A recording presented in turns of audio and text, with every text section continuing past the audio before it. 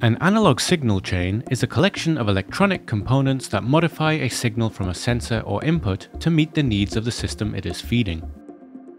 You will find a signal chain wherever a signal from a sensor is too small to be measured directly or accurately enough for the application, anywhere from digital scales to an industrial robot.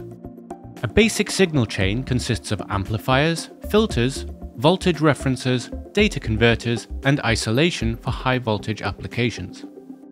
Let's take digital scales as an example. Placing something on the scales deflects the internal load cell causing the output voltage to change. The change is proportional to the amount of weight, or downward force, applied to the scales. The load cell output voltage is too small to be useful, however, so the first link in the signal chain is an amplifier. The amplifier increases the voltage from the load cell ready to pass it on to the next link in the chain, the filter. The filter removes any noise or unwanted signals to ensure our system only responds to what we intend it to. An analog to digital converter, or ADC, samples the output from the filter and feeds this digital data to the system microcontroller.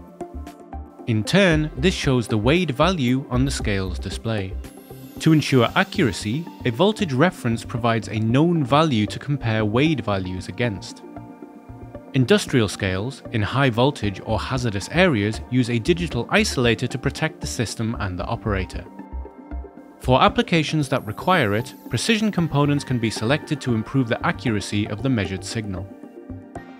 Analog devices are the world leaders in analog signal chain technology, offering components and design tools that make designing your own signal chain as easy as possible. To learn more, go to mouser.com.